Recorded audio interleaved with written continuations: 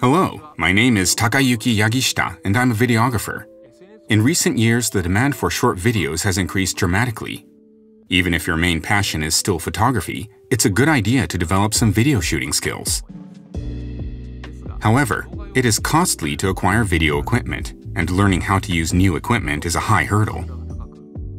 Many of you may find it difficult to get into video shooting. Recently, there are more cameras such as the Z8 which have performance comparable to video-only cameras.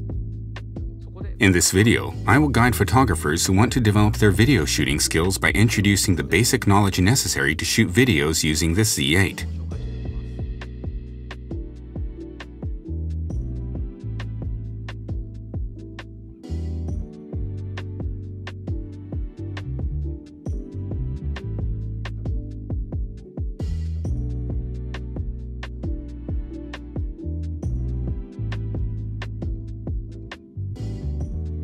The first two concepts you will need to know about are resolution and frame rate. With the Z8, you can choose from these six resolution options. The higher the number, the higher the resolution. And the higher the resolution, the larger the file size. Personally, I often shoot at a slightly higher resolution than that of the final format. For example, if my video will be in Full HD, I shoot it in 4K. This allows me to zoom in on the video or apply digital zoom when editing.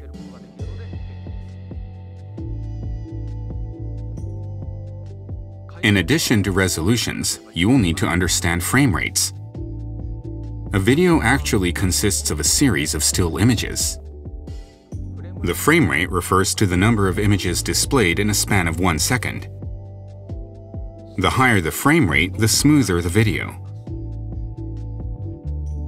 You can select a suitable frame rate according to the atmosphere you want to produce and the purpose of the video. A frame rate of 30p is often used for television and YouTube.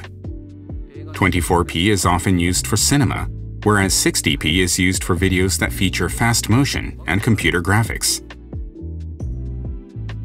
It is important to note that there are two types of frame rates, the shooting frame rate and the playback frame rate. The shooting frame rate is configured on the camera, and the playback frame rate is configured in the editing software. The final frame rate of the video is the value configured for playback frame rate. Generally, the two frame rates should be configured to the same value. However, it is also possible to create dramatic slow-motion videos by selecting different frame rates for playback and shooting and then adjusting the playback speed in the editing process.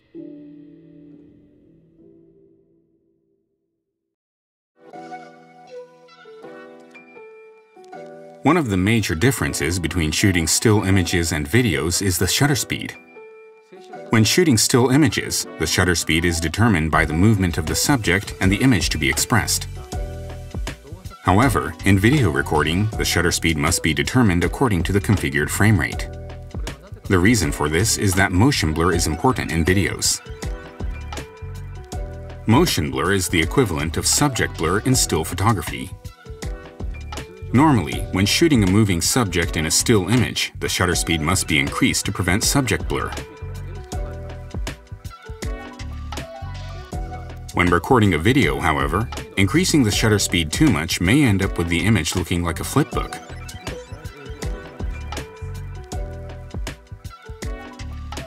For videos, it is better to have a moderate amount of motion blur. This will make the video appear more natural. A rule of thumb for achieving a moderate amount of motion blur is to set the shutter speed to twice the frame rate. For example, if the frame rate is set to 30p, the shutter speed should be 1 60th of a second, and if it is set to 24p, the shutter speed should be 1 50th of a second. Another major difference between shooting still images and videos is exposure.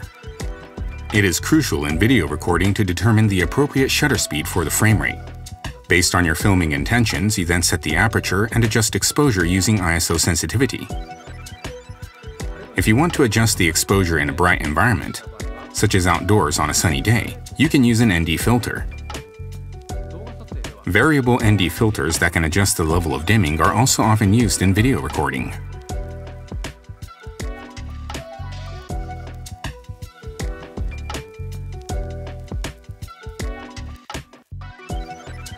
On the Z8, you can select the format in which to record videos from these six options. NRAW and ProRes RAW are recording formats intended for raw processing and editing.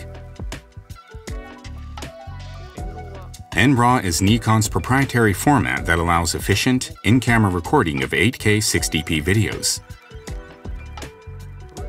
ProRes RAW is a RAW format developed by Apple Inc. ProRes 422HQ is a high-quality video format without degradation, suitable for TV broadcasts.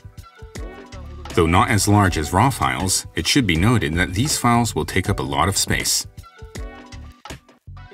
H.265 is a format that features efficient compression, allowing you to record high-quality video that does not occupy a lot of space. You can choose between 10-bit and 8-bit color depth. If you want to adjust the color thoroughly in editing, 10-bit is recommended. H.264 is a versatile format that is easy to edit, even on less powerful computers.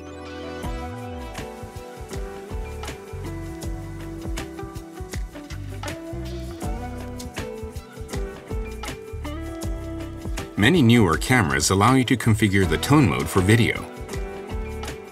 On the Z8, you can choose from HLG and N-Log in addition to the regular SDR for a total of three types. SDR is a standard tone mode that supports a normal brightness of dynamic range. HLG is a tone mode compatible with the dynamic contrast of HDR. N-Log is a tone mode designed for color grading that preserves details in highlights and shadows, and avoids oversaturated colors when recording videos.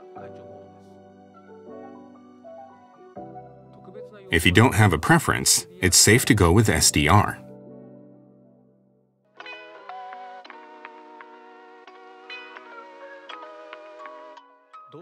Now that you have some basic knowledge of video recording, I will introduce you to some settings that you should pay attention to. The first is white balance. Although auto is useful for still images, I recommend that you use a fixed Kelvin value or a preset for videos. If you aren't shooting in N-Log or RAW format, you can apply picture controls. I recommend flat for shooting videos. I don't often use this picture control for stills, but it allows you to create videos with a sense of unity and good transitions between cuts, just with a few steps of fine-tuning the color and contrast. If you want to make a short video without any editing, another option is to use creative picture controls. For example, selecting Toy and setting the effect level to 50%, slightly lowering the level, will allow you to produce a cinematic effect with ease. In addition, using a mist filter, for example, a black mist filter, will result in a more atmospheric video. The next setting is the focus mode. Professional videographers often use manual focus, but if you are just getting into video recording, I recommend using the AFC autofocus setting. Using AFC allows you to focus at any time by simply pressing the AF on button. Furthermore, if you continue to hold the AF on button, the camera will continue to focus. As for the AF area mode, I recommend choosing an option that suits the subject. If you want to produce a foreground blur for scenes like this, wide area AF is effective. The last setting is vibration reduction. When shooting handheld, I recommend sport mode to stabilize the display.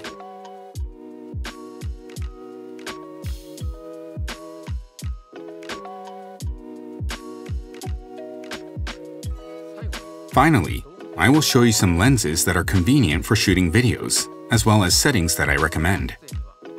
For video shooting, I recommend a lens with a high zoom ratio, such as the Nikkor Z 24-120mm f4S.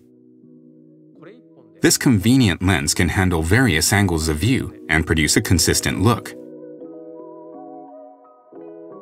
I also recommend customizing the i menu to settings that you often use. I configured my camera so that I can use the i menu to recall the View Video Info item. This allows me to quickly check the shooting settings. You can configure your i menu according to your purposes and preferences. In another video, I will introduce some key points to keep in mind when shooting. I hope you check it out.